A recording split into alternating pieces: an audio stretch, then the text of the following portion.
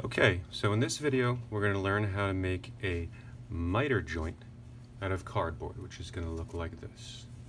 Okay, so the cardboard is going to be cut at a 45 degree angle. And these miter joints are not the strongest wood joints, but what they are is they're aesthetically pleasing, which means they are pleasing to the eye. So typically they are used for frames, picture frames, for moldings around windows and doors, crown moldings, things that we want to look nice but that are not necessarily going to have any load or any weight applied to them because they are not very strong.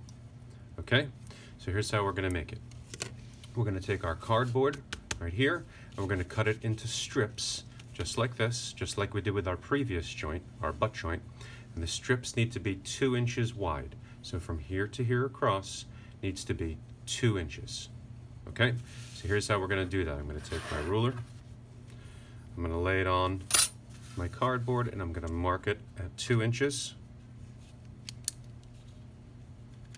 I move the ruler up. I'm to mark it at two inches again. And I'm just going to connect my marks.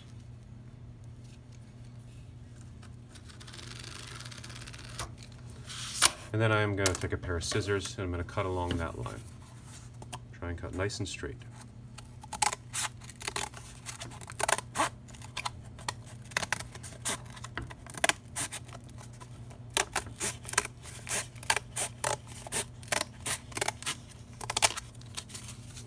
Okay, now that I have my strip of cardboard that is two inches wide, the next thing I need to do is I need to cut a wood a block that is now four inches long. So you can see if I lay it on top, it's the same two inches this way, but it needs to be four inches long. I wrote it on here, four inches long.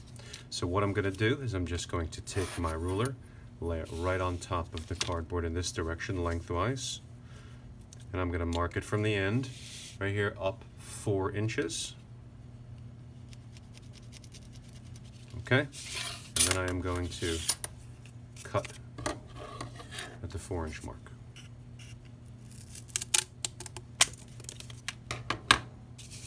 Okay, so now I have my block that is two inches this direction, four inches in this direction. So now what we need to do is we need to turn this piece of cardboard into this. Okay? So that we can make our miter joint. So here's what we're going to do. Along this, from this top corner here, I'm going to measure down two inches. Okay, so I'm going to take my ruler, I'm going to lay it on here, and I'm going to measure down right along the edge two inches. I'm going to make a mark. Right there, right along that edge. Then what I'm going to do is I'm going to connect this top corner with that mark that I just made with the ruler, and that will give us this line right here. So I'm going to take my ruler, I'm going to lay it across, line it up with the corner, line it up with my mark right here that I just made, that remember was two inches down, and I'm going to strike my line, and there we go. Now I'm just going to cut along that line.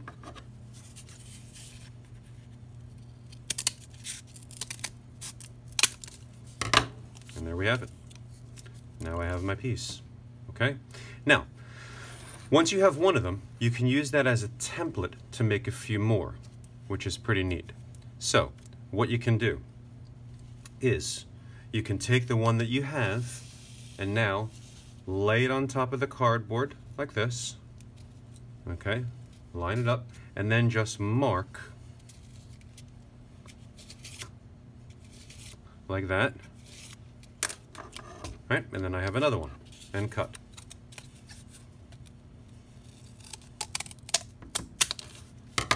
Okay? Now this piece of cardboard you can see already has the point on it, so I'm going to flip it over like this. I'm going to take one of the ones that I cut already. I'm going to lay it right here on top, matching up this line right up at the top. And I am going to mark it at the bottom now. You can see, and now I can cut that out. So I'm going to repeat this process, okay, until I have eight of these pieces right here. I'm going to need eight of them. So I'm going to lay eight of them out across right here. We have one, two, three, four.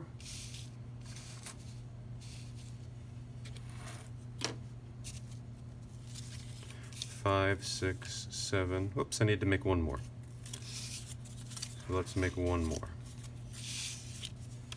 So I'm going to lay it on top, trace, and cut.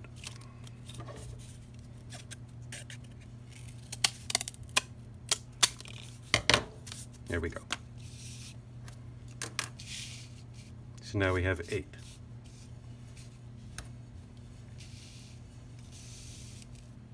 Okay, so now what we're going to do is we're just going to stack them up and glue these four together with hot glue. And then we'll stack these four up so that we hot glue those together.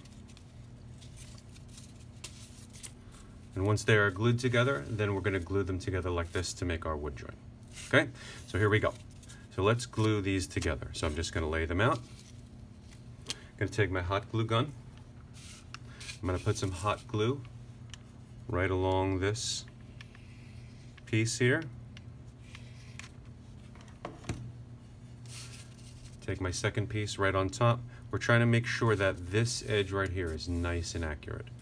So leave it for two or three seconds till it dries. Apply some glue on top of this piece.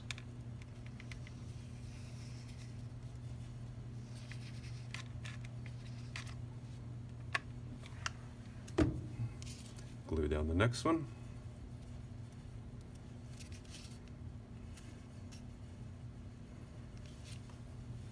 And last one.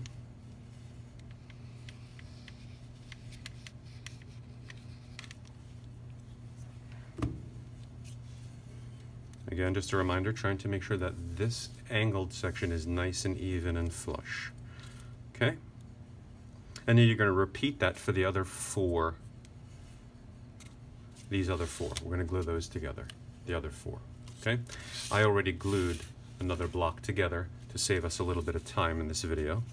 So, once I have my blocks, my four glued together, and my four glued together, now what we need to do is just glue the two pieces together to make our completed miter joint. So I take my hot glue gun, try to get some glue right along the edges here of this 45 degree angle. So if you can see that, right, we're gonna glue here. So when I turn it this way, I wanna try and make sure I'm getting glue on the outer edges as well as in the middle. So I wanna get some glue right along the edge here.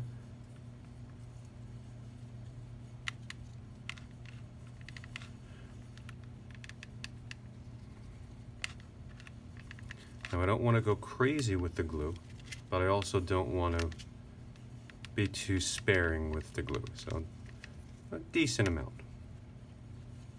A little drop of glue is not going to be enough. You're going to need a little bit more. Okay, then I'm going to lay these down and I am going to hold them together. Typically it takes about 30 seconds for these to dry. Okay, fast forward 30 seconds and you will have a completed miter joint, which looks like that. And that's how you make a miter joint out of cardboard.